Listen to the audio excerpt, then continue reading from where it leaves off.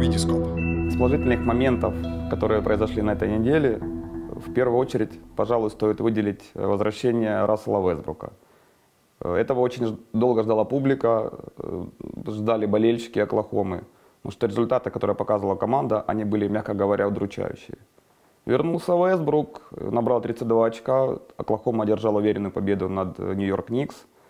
И позволяет с оптимизмом смотреть э, в будущее этой команды, возвращение одного из ее лидеров. Также довольно неожиданно э, оказалось, что Тони Паркер э, может стабильно и точно стрелять из-за трехочковой линии. Он показывает на данный момент самый лучший процент среди всех игроков NBA, что, конечно, от него никто не ожидал.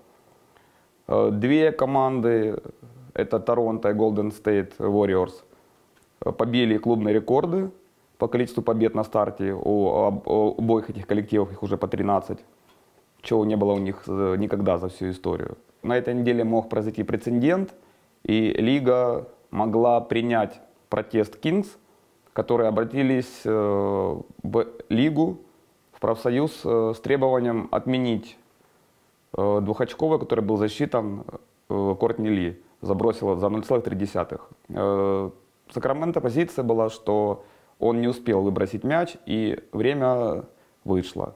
Но, наверное, к счастью, комиссионер Адам Силлер выступил заявлением о том, что решение судей меняться не будет. Они его приняли на свое, усмотрение.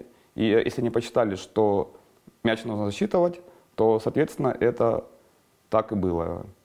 И президента не произошло, потому что могло быть потом повторение со стороны других команд. Но Сильвер сразу это прервал и надеюсь, что похожего в ближайшее время не будет. Витископ. Спортивное видео.